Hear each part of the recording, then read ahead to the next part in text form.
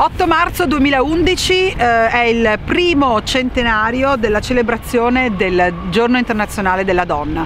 Nonostante ci siano molti che lo ritengano soltanto un evento retorico con mimose un po' inutili, eh, i verdi europei considerano che questa è una scadenza molto importante perché la liberazione della donna e i suoi diritti uguali non solamente a livello eh, civile e politico ma anche a livello eh, lavorativo è una battaglia che deve continuare continuare e in un paese come l'Italia è ancora eh, veramente necessaria. Ehm, I Verdi europei hanno, hanno spesso eh, sottolineato il fatto che eh, l'assenza o la scarsa presenza eh, di donne nei posti di comando è anche il sintomo, il segno di una società eh, sicuramente non avanzata, sicuramente non innovativa e non capace di rispondere alle grandi sfide che eh, il mondo oggi ci pone, alle grandi sfide sicuramente ma anche alle grandi possibilità in termini di benessere, in termini di progresso realmente ecologicamente sostenibile. Noi eh, riteniamo che eh, ci siano tre priorità fondamentali sulle quali noi vogliamo e possiamo continuare a lavorare.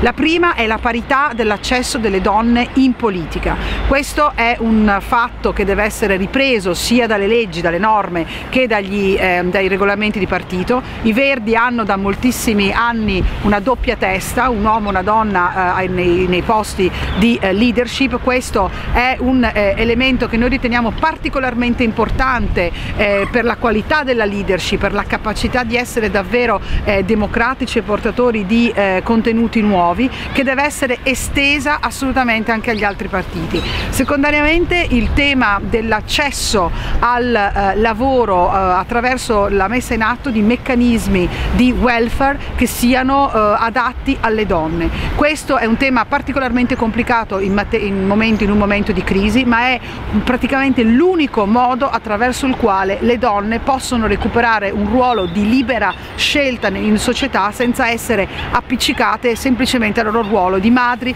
di figlie e di badanti eh, dei, dei, loro familiari malati. Eh, il tema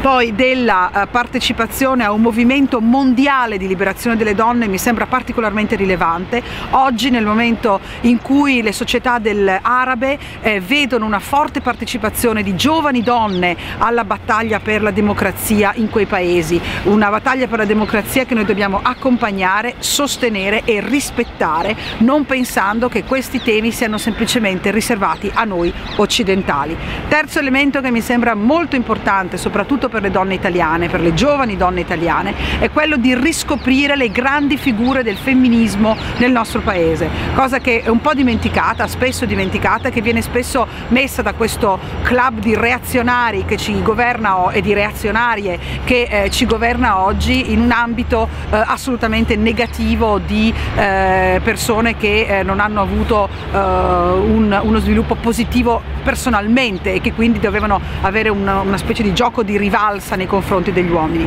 Il grande movimento femminista in Italia non è sicuramente stato solo questo e deve essere riscoperto dalle giovani donne per, per festeggiare eh, nel modo degno questo centesimo anniversario del giorno internazionale della donna.